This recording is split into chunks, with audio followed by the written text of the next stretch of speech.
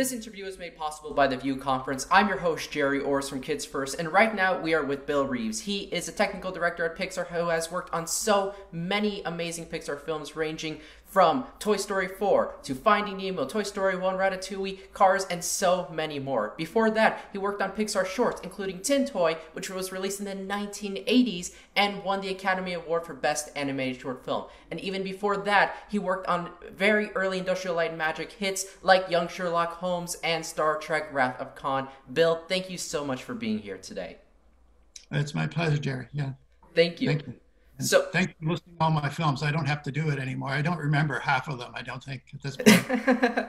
well, they were all incredible. And my first question, before all of that, you were getting education in a very STEM field in mathematics. You know, that's definitely very different from Pixar and Industrial Light Magic. They use mathematics, they use computer science, but they're filmmaking companies. They make animated films and they make graphics for films. So, can you talk a little bit about that transition from making research papers to helping making films?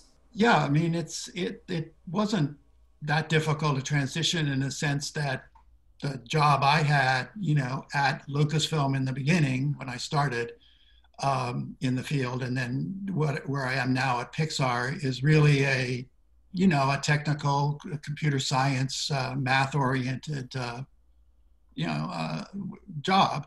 Um, I have to work with filmmakers and, and people who come up with creative ideas and, and draw and you know do all those kinds of things uh, on the creative side of things. Uh, but my day to day you know is writing code debugging code thinking about how to solve a particular problem that's happening in a particular film. And uh, you know problem solving and that's what math and computer science is all about really at the at the heart of it you know or at least a big part of it.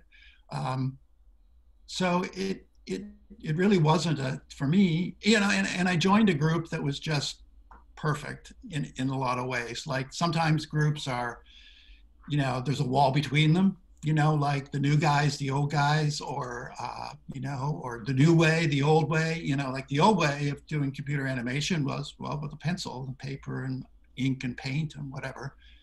And uh, here we are coming in saying, well, maybe we can use computers to help you make movies and help make different kinds of movies and different kinds of, of films. But you know that you could have imagined you know a situation where it was really you know us and them kind of thing and uh, the, the great thing about um, you know the group we had was uh, and and the way we were set up at Lucasfilm and then at Pixar was really uh, you know very friendly and very open and very uh, creative. And uh, what we were able to do at Lucasfilm, for example, was um, show how digital effects, you know, uh, special effects done digitally can uh, look really great and, and integrate into feature length films with live action backgrounds. And, you know, I mean, people had imagined doing that, but I think we were one of the very first groups to actually do that and show that, oh, wow, you know, you can do a rack focus on a digital character and cop it into a live action background of, of a church and shot in England. And, uh, it's seamless and it and it and it really works. And and so we were given that chance you know to do that, that that's the stained glass man from uh, sherlock holmes. Uh, and you know um, that you, you know and then we also worked on wrath of khan where it was it was a monitor that was displaying our images. So that was sort of separate any in in some sense but we were able to create an environment and a bit a look that I mean, traditional effects at the time probably couldn't have done as as in, in that that vision you know that that look. They could have done something different i'm sure uh, but they wanted something specific about a, a world transforming from a moon to an earth like planet you know that transformation. So you know i mean um, we were able to to slip in there and do a few things that were interesting. And then we went off and did Pixar doing computer animated stories and whole films, you know, uh, all on computer, whereas the Lucasfilm people and the ILM people, they put together their own group to do you know, digital effects, and look where they went: Jurassic Park, uh, Terminator 2, uh, you know, also, you know, and Star Wars, and it's everywhere now. You know, with uh, Avatar and and all those films. I mean, you know, that's, you know, that's.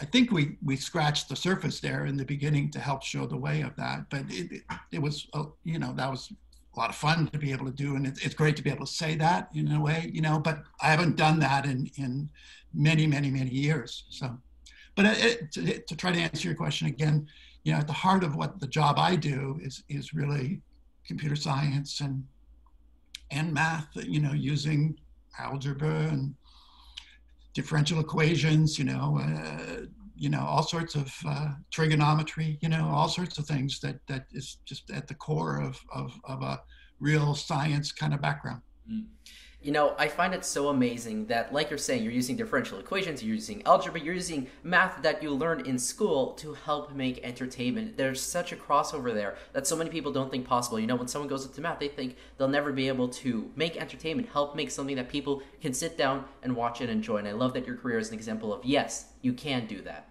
Now, before we talk a little bit more about the collaboration between Pixar artists and uh, technical creators, I want to ask you a question. You are talking a little bit about the skills needed to be in this, you know, the mathematics and the scientific skills. Do you think people who are designing the programs that artists use also need to be passionate about the craft, like the storytelling, the animation? Do you think they also need to have a passion and maybe even talents in that field as well? A passion is great. I mean, you know, a passion of, of loving movies and loving storytelling and loving creating characters that, you know, are, uh, you know, uh, indelible in the world, you know, and, and you know, Buzz and Woody, you know, I mean, like I was part of that and, and my passion and doing that and creating those characters, helping create those characters, you know, uh, I wasn't, didn't do it alone by any means. Uh, but being part of that, you know, and that being part of that passion and creating, you know, a passion. I mean, the, the passion of Pixar is creating movies and and um, and and films that that people love and people make people happy, which is a great thing to be doing in the world of today and and, and even before, you know, I mean, and and and in the future. And so, having a passion about it is certainly important, uh, you know, in in the scheme of things. Um, and then be able to use my talents you know, from the math side of things to help make that happen is just is the connection and make it. But you know, I mean, yeah, if, if, if you hate movies and you hate watching TV and you hate video, yeah, you know, why, why are you working at Pixar? You know, uh, so so you need some kind of connection to to the sort of the end product, if you will. But but otherwise, you know, um, you don't need you don't have to come into it having known how to write a story or what story arcs are or or what. Uh, how to develop a plot and, and you know, or, or how to design a character. Uh, you can pair up with someone or, or a team of people to, to make that happen. Mm. You know, I think that sense of teamwork really shows in Pixar films because there's talent all across the board. There's talent in uh, your field, the technically Pixar films, you know, off the charts. They win so many awards for a reason. They're exceptional, and in the story, equally exceptional. They're so entertaining for the entire audience. Now, I want to ask you a little bit about your process for developing the technology that's used. For example, particle systems, which you won a uh, Technical Academy Award for. What was the process for creating technology like that? For the audience who doesn't know, particle systems is basically a computational way of simulating a lot of individual particles together. can be used to create fluids and smoke and fire. Basically, any major film that uses visual effects or animation, they probably use particles. Bill created that. So, can you talk a little bit about your process for creating complex computations like that? Yeah, this goes back a long ways. I mean, the first use of particle systems was in 1982 uh, for Star Trek: The Wrath of Khan, um, and uh, you know we had been, and this was in, in the computer. I was part of the computer division at Lucasfilm at the time, and uh, ILM, which is the special effects house of, of Lucasfilm, got the contract to do the effects for Star Trek II. And there, there was this story point where uh, Spock and, and Kirk were watching a video screen of this enemy's bad bomb that would, you know, uh, you know, wreak havoc on the on the universe or something. I forget the real details, but but anyway. So, but um, And um, you know, there was this. We, we they came to us. We were the computer division doing, you know, trying to create technology to do um, effects and animation and whatever. But we didn't have a contract with ILM or anything. But they they realized that this this ask, this effect was uh, was difficult for them to do, and and that they'd seen computer graphics before, ours and other people's in the industry, and, and thought, okay, maybe these guys, you, us guys, could could actually do something there. So they came to us and pitched us the story and pitched us the or the idea what the effect should be, and. Um, I don't know. I mean, I wasn't working on particle systems before that. Before that pitch came in, you know, I mean, I was I was developing core software, if you will, but I remember sitting around the room the, um, after getting the pitch and just a meeting room, and we were all talking about what could we do, and and you know we knew there was this this basically this planet, this moon-like planet, at the beginning of the of the piece, and Earth-like planet at the end of the piece, and people around the room would say, "I'll do the moon," and another person said i'll do the stars in the background. And another person said i can do the i can do the earth which uh, loren carpenter said that. And it was like he's he's an amazing guy and he could do this fractal kind of uh, earth-like thing.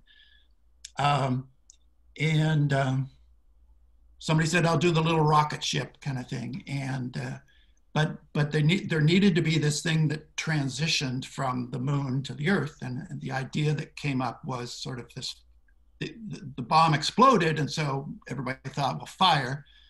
And um, I remember just sitting there for a couple seconds, and and then I said, then I just said, I'll do the fire, not knowing how to do the fire, not knowing how to do anything, but uh, let me give a go at the at the fire because I was sort of the last one to, or the last the last part of that to to kick in, and. Um, people going and looked at me and went, "What? Are you sure? Really? You know, whatever." And yeah, you know, give it a try. Uh, I got a few ideas just just thinking about it here in the last couple minutes, and so off I went and and uh, tried to come up with what what would what would it take to to do sort of a an explosion and then a traveling set of fire that envelops the planet.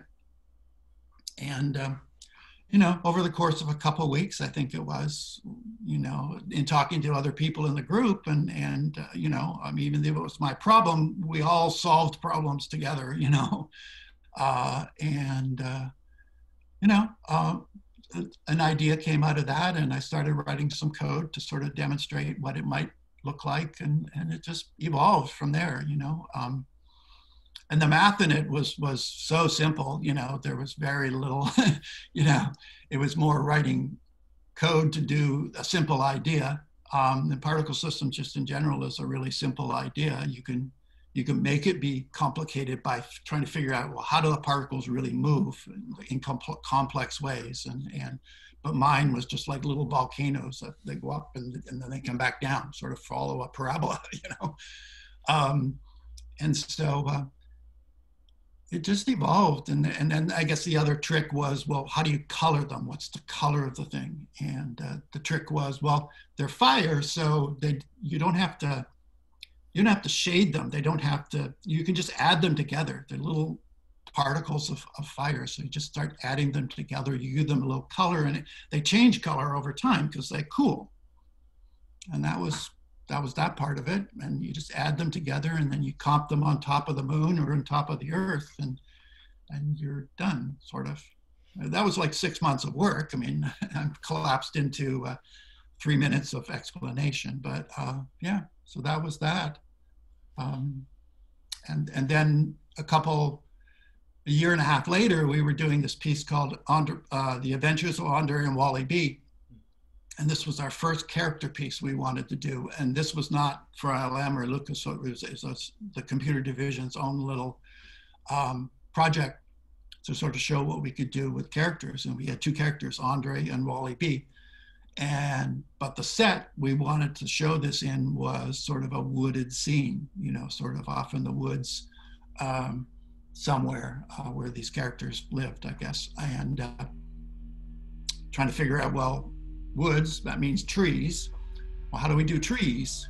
And I said, well, I know how to, I could, I could take a crack at trees. I'm going to use particle systems to do trees because the leaves are just little particles. I mean, the trunks will be geometry. There will be surfaces and the branches and everything, but the leaves will be just little, little particles. They, they won't be round necessarily, and they won't, they'll be long or, or, you know, sort of shaped like a leaf if I can get that, or just like a little dot if, if I needed to. And uh, so I decided I'll go, go at the, at the trees with, uh, with particle systems. And, then so that's what turned into sort of my, uh, so, I mean, basically I wrote, wrote, a paper about the fire stuff, and then I wrote another paper about the part, uh, the trees. And those were sort of my two particle system papers. And, uh, you know, worked out. Look, I mean, you know, you look back at both both effects these days, and you know, boy, that's pretty hokey. That's pretty, you know, uh, low tech, if you will, however you want to describe it. But for the time, it was it was pretty convincing, and and uh, especially for you know like the Andre and B, Wally B one because it was it wasn't a special effect. It wasn't comped in over live action or anything. It was just it was a, it was sort of a it was an animation. It was it was a world that we created that it could be uh, stylized in all sorts of ways. So the trees sort of fit into that mold of, of stylization, just like the characters did. You know, the characters were a bee. Wally B didn't really look like a bee. He looked like a, what did he look like? I don't know, something big, honking. He had, he had this big stinger on the back of him. John wanted a, a big sort of menacing kind of stinger. So, anyways, you know what I love about what you're saying is things like uh, getting the particles to go in a parabola or getting them to make leaves on trees. That is so fundamental in particle systems today. It's just a few clicks of a button on a software. On any 3D software, it's just a few clicks and you can get that. And you never really consider the fact that all of this had to be invented, and like you said, really just to solve problems. Now, you also talked about before working on particle systems, you were working on the core software. Uh, for example, Pixar's core software, Marionette, which you also won a Technical Academy Award for. Now, that is a very complex piece of software, but it's not used by scientists, it's not used by engineers, it's used by artists. It's basically a paintbrush that you had to design and build. So, can you talk a little bit about the process for developing software specifically designed for artists to use? Hmm. Yeah, maybe that's sort of a, a di- totally different direction. My brain had to, to switch uh, a lot to sort of you know deal with some of those issues that that you are well pointed out to, to do. The marionette, or we called it. Um, we called it Menvi. We're not, not I was not supposed to use that word in, in the beginning, but we, what we did, we published papers with it in it, so it's okay. MENV, standing for Modeling Environment. Kind of stupid name, but uh, and um, so back up, backing up a little bit, we actually had a system at Lucasfilm to do the Star Trek piece in and uh, uh, to do the um, uh, Andre and Wally B and, and uh, also Sherlock Holmes. I mean, several of our early films were done in a, a system called MD, Motion Dynamics, I think it was, uh, written by a colleague, Tom Duff. Um, and uh, I, I, helped, you know, sort of code some of that at, at certain points along the way. But um, I was more working on, on the particle system stuff and sort of core software for uh, the computer division in general. Sorry, my hat keeps, I don't usually wear a hat, but my hair is terrible, you know, uh, these days. So I just like it.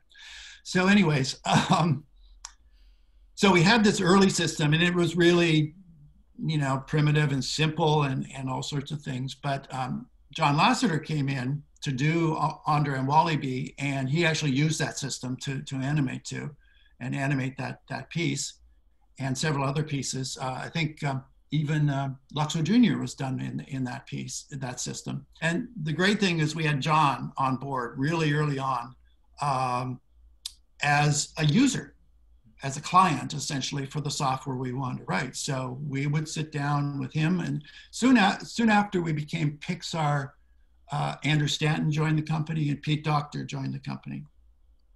So we had three. and those names now are resonate around the animation world in terms of core talent in, in computer animation. And uh, we were so lucky to, to bring those people on and to think of them as our users when we were writing the, the, the marionette system. Um, and so we we basically said this is a system for animators. It's it's not for us to use. You know, it's not. We're not going to use it to do special effects. We're not going to use it to do particle systems. Even you know where there's there's also. I mean, it, it's it's a system to, for animators to sit down and massage and time the animation that um, that they want to want to put on screen. And so. Uh, you know, we, we treated them as their clients. We, we tried to make, uh, uh, make it be so easy to use as possible. Um, and so uh, forgiving, you know, if you will, along the way. And, uh, and, uh, but but uh, at the, on the other hand, we, we wanted to make be very flexible. I think that was another thing that was really important in our design. And so we started with something really simple like MD was really simple, so we sort of replicated what MD did in, as the first version, but we knew that we wanted, you know, version 10 and 20 and 30 eventually, uh, which we got to, you know, by the time uh, we were done with uh, with Marionette. And uh, so, you know, uh, we made it very extensible, so we could add new things or we could change things around and, and make it be better and better as the as the as the, our experience grew and as you added more people and, and got more uh, good ideas uh, to, to, to put into the system. So uh, I think uh, the last film that used Marionette was uh, Toy Story 3. And Brave, the film after that, was the first film to use Presto. With Presto, we, well, by, by that era, which is well, two th- the 2000s, somewhere in there, um, you know, everybody decided, okay, we need to gut the system. I mean, you know, there are things we want to do that we we just can't make the old system, the marionette system, do. So, so they started on a new version of Presto, or a new version of software called Presto, or is now called Presto. Um, and uh, so, but but Brave was the first system uh, film to use that system. But I didn't participate in a lot of the coding on, on the Presto system. Um, I was working on the films much more than than uh, developing the software at, at, that time. By then, by then. You know, it's funny now that we see softwares that have gotten so much more complicated, but also much easier to learn. Uh, for the audience, if you're interested in learning 3D animation, Blender is an open source 3D software that has a lot of features that other professional softwares have, including the features that a lot of Pixar softwares have. So check out that if you're interested. And also, the View Conference has actually done an interview re- very recently with Dylan Sisson, who is on the RenderMan team, and he talked a little bit about the future of Pixar technology related to NPR, non physically based graphics. Make sure to check out that interview as well. But, Bill, looking ahead at the future, Pixar is definitely changing in the future. The entire animation world is constantly changing, and there are more and more people going into science, technology, you know, STEM fields that are interested in getting in these entertainment worlds. So, what advice would you give to the next generation of technical artists, of programmers, of software developers? What advice would you give to them? Well, I mean, um, certainly learn your craft, you know. So if you're in science and technology and whatever, I mean, get a good foundation for that. Because, um, like we said earlier in the interview, you know, you never know if you're going to use those differential equations, and you may never you know, I mean, you know, maybe maybe that's something that you, when you get if you get into the field, never use, but you might. I mean, those are used in a lot of uh, the effects kinds of things, like if you're doing a fire or if you're doing water or, or all sorts of things like that. You, you're trying to build CG to do that. You, you need to use that stuff. Maybe that's part of the software package you do, and you you're not actually coding it up, but but you need to understand it. So, anyways, but but even the the simple things like um, I don't know, trig and and uh, you know algebra and all sorts of stuff um, is really important. And and just I mean, you don't I, you don't need to memorize it. Do, it doesn't need to be you know implanted into your brain so that you can just snap and it, it's there. I mean, I go back to my books and reference material all the time and search the web for solutions of of things.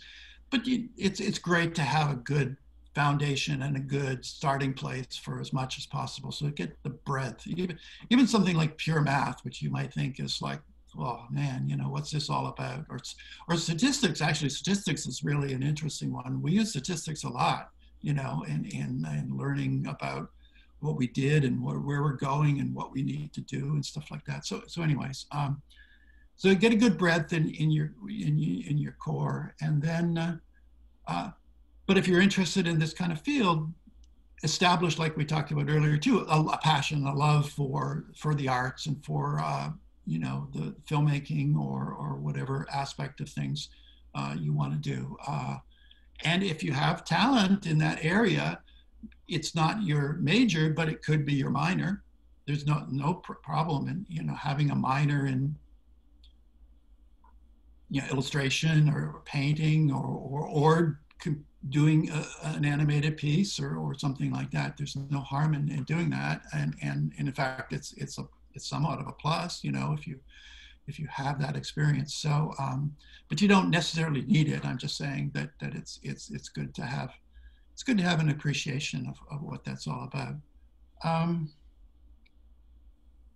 what else to say about uh, you know getting into the field? I mean, um, you know, go to a good school, um, you know that that has a track record of of of uh, you know c- creating graduates who go into the field. If you can track down a school that does that, um, and uh, and then uh, you know, I mean, a, teamwork. I mean, be part. Try to be part of a team. You know, if you uh, in some way or another, whether it's a, a, a CG project or not. It, it could be a project in machine learning. It could be a project in in uh, uh, you know all sorts of things like that. That you know something completely different.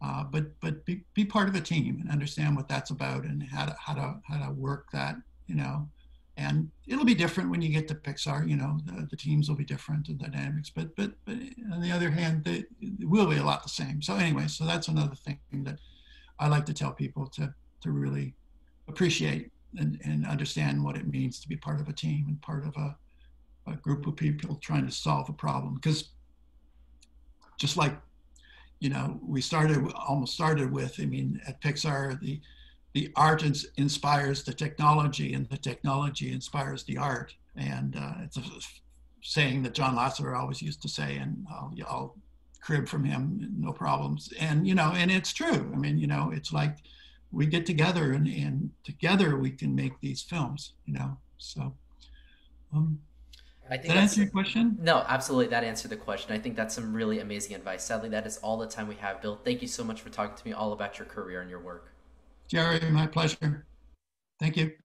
Thank you for our audience, make sure to check out all of Bill's works, all of Bill's films. If you're interested in Industrial Light Magic, we just recently did an interview with Rob Bredow. He's the head of ILM. Check out that interview for more information about what Industrial Light Magic is doing today. They have some amazing work going on. And if you're interested in Pixar, we also just did an interview with Sharon Calahan. She is a director of photography at Pixar, and she has some really amazing work going on there. So make sure to check out that interview as well. This interview was made possible by the View Conference. The View Conference is a yearly event that is going on both online and in person. It is happening between October 18th and October 23rd. For information about it, go to viewconference.it. I'm your host, Gerry Orz from Kids First. Bye.